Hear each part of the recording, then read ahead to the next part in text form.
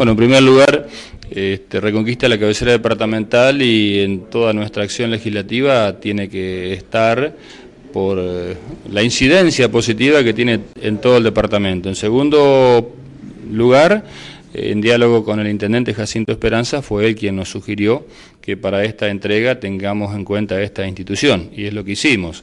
Y el compromiso de que en las próximas entregas son cuatro anuales, de la misma manera también con el intendente iremos definiendo a qué entidad este, estaremos ayudando. Sabemos que son muchas las que necesitan, son limitados los recursos, por lo tanto creemos que hay que coordinar con el intendente y su equipo de trabajadores para tratar de disminuir el margen de error.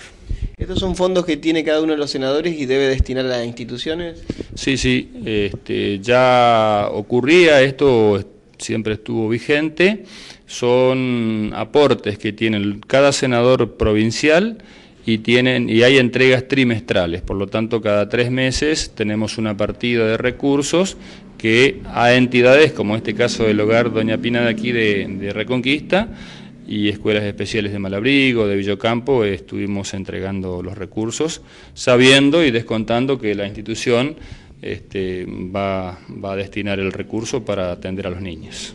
María, cuéntenos cuáles son las actividades que desarrolla el hogar Doña Pina.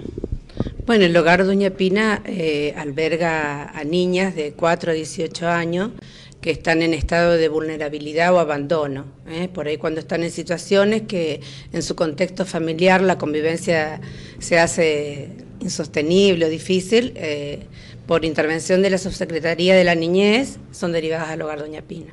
¿Estos fondos van a ser destinados para qué fines? Y en su momento cuando lo planteamos era para el pago de profesionales que trabajan en el hogar. ¿Cuántos profesionales están trabajando con ustedes? Y bueno, generalmente tenemos un equipo asistente social, psicóloga, psicopedagoga y maestra especial.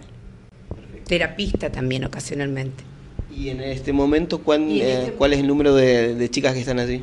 Diez más una con un bebé.